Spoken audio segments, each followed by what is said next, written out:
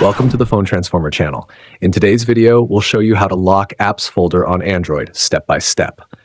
If you find this video helpful, please subscribe to our channel for more tech tips and tutorials. Let's get started. Step 1. First, open the Play Store app on your Android phone. Make sure you're logged into the correct account to avoid any installation issues. Step 2. Next, tap on the search bar at the top and type in App Lock Pro. Um, once you find the app, tap on the install button and wait for it to download. Step 3. After the installation is complete, open the app. The first thing you'll need to do is set up a six digit PIN. Enter your desired PIN and tap on the Create button. Step 4. Now re enter the same PIN to confirm it. Once done, tap the Save button. The app will now ask for necessary permissions. Follow the on screen instructions and allow all required permissions to ensure the app functions properly.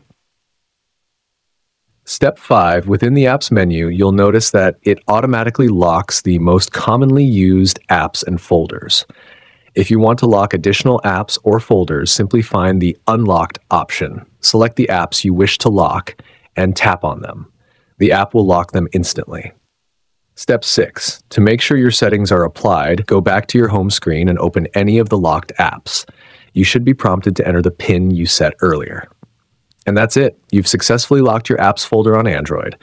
Thanks for watching and see you in the next video.